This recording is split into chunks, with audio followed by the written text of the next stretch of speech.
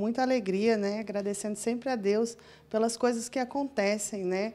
No nosso município, na nossa gestão e na nossa vida, né? Porque eu falo que é, a gente se emociona de ver é, como as coisas chegam, né? E hoje aqui, em especial ao Alan, um para-atleta, né, indo por uma Paralimpíada e sendo representante aqui de Alto Garças.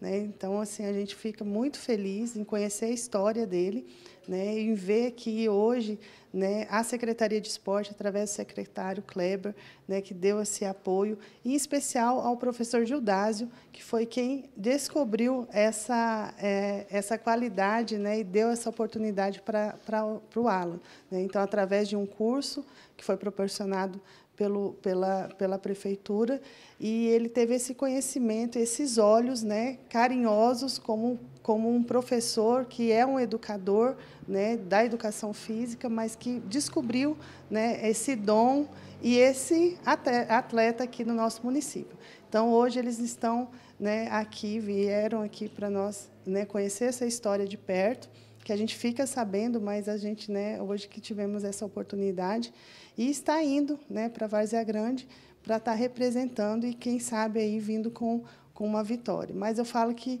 é só o fato dele estar incluído, né, e hoje a inclusão é tão importante, dele estar incluído aí no meio do esporte, né, sendo podendo se destacar e mais ainda, né, ele é, tendo descoberto que através do esporte ele conseguiu fazer com que a habilidade dele motora, né, melhorasse. Né? Ele usava uma botinha e hoje ele não precisa usar mais. Nem nunca usou um tênis, hoje ele consegue usar um tênis. Então isso é muito importante. E a gente enche o coração de alegria e de felicidade. Hoje é um motivo muito de alegria, satisfação em saber que nós vamos ter um, um representante, o Alain, que vem treinando aí muito com o professor Judas e já está com índice bom para essa disputa que vai acontecer no município de Várzea Grande. A prefeitura, através do secretário Kleber, toda a equipe, vice Angelita, todo o secretário, estamos aqui e o município de Alto Garça. A hora que já saber, conhecer o Alain, é, nós vamos estar aqui de braços abertos, sempre apoiando porque isso é como o professor Judásio colocou para a gente, é uma inclusão social.